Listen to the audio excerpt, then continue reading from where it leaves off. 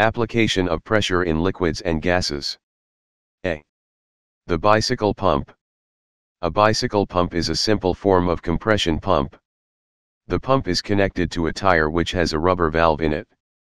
When the pump handle is drawn out air below the washer expands and its pressure is reduced below the atmospheric pressure.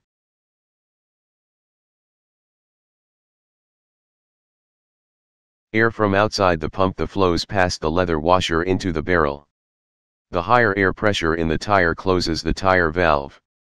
When the pump handle is pushed in, the air in the pump barrel is compressed.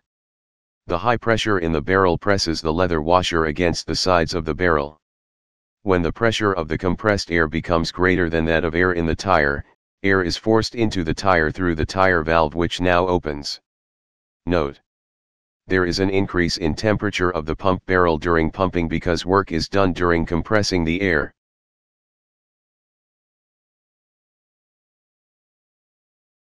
B. The lift pump. It is used to raise water from wells.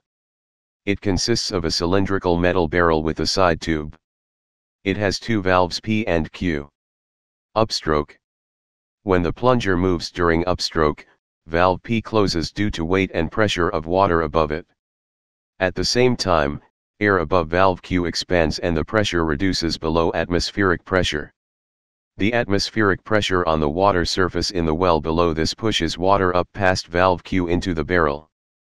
The plunger is moved up and down until the space between P and Q is filled with water.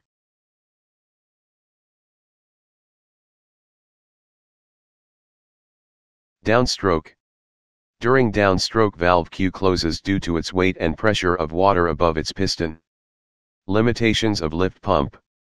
The atmospheric pressure support only 10 meters column of water, which is actually a theoretical value but practically this pump raises the water less than 10 meters because of low atmospheric pressure in places high above sea level.